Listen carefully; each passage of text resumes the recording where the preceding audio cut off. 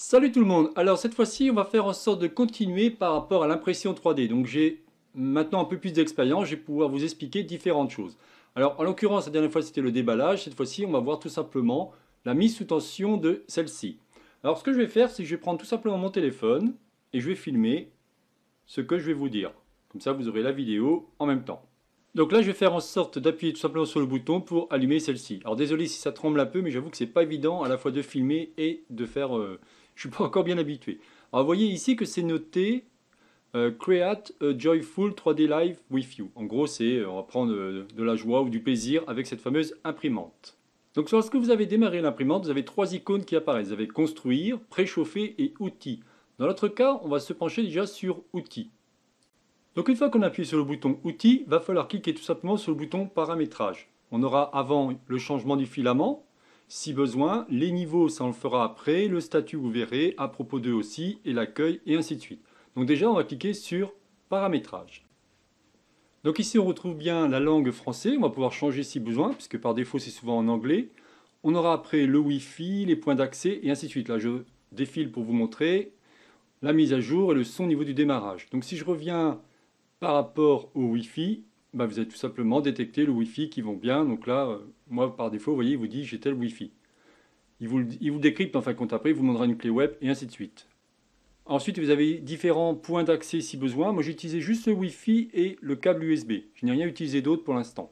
Donc quand on appuie sur le bouton statut, on a tout simplement la température actuelle ou ambiante, on va dire, de l'extrudeuse. Hein. C'est là où, où va sortir le filament avec les axes X, Y, Z par rapport à mes, mes plateaux. Là, je reviens en arrière. À propos d'eux, vous aurez les différentes informations en ce qui concerne ben, de la machine, le Wi-Fi, ainsi de suite. Là, j'ai caché certains champs parce que je ne voulais pas que vous puissiez le voir. Lorsqu'on appuie sur le bouton niveau, on a automatiquement les plateaux qui vont descendre et qui vont vous permettre, en fin de compte, vous allez avoir un message qui va demander de bouger par rapport aux molettes. Alors, bien évidemment, je ne vais pas vous l'expliquer, mais vous allez voir, c'est très simple à comprendre, qui va vous permettre de faire le réglage par rapport aux différents palpeurs qui vont garder les axes X, Y, Z. Si vous appuyez sur le bouton Accueil, vous aurez tout simplement votre plateau qui va revenir au point d'origine. Il va donc rester le bouton changement de filament. Alors quand on en appuie dessus, en fin de compte, celui-ci va tout simplement, l'extrudeur va se mettre une certaine température pour pouvoir après faire en sorte de, de prendre le fil. Alors soit une nouvelle bobine, soit tout simplement remettre s'il y avait un problème.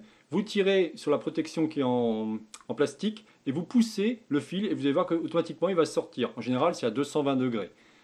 Alors ici vous pouvez voir en fin de compte que j'ai filmé le plateau avec les différentes molettes qu'il faut régler pour euh, tout simplement faire la mise à niveau. Vous avez l'extrudeur avec le fil qui dépasse. Bon, je vous explique un peu ce qui se passe.